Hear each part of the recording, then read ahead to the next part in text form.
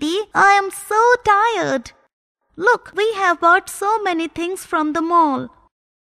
One, two, three, four, five, six, seven.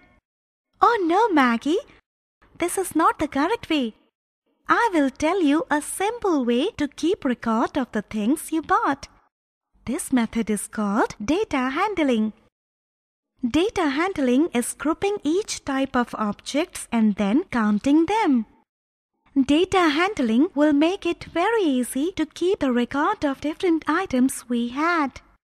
See, we have bought 4 books, 8 chocolates, 6 biscuit packets, 3 teddy bears, 10 pencils and 5 crayon boxes. We can also represent this data through a chart. Now look at the chart and answer some questions. How many pencils have we bought? 10. How many chocolates have we bought? 8. Which item is maximum in number? Pencils.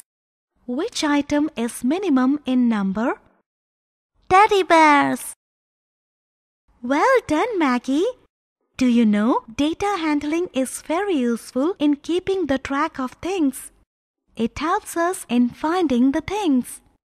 For example, a shopkeeper groups things to keep record of different items in his shop. Data handling helps him to find things which are out of stock.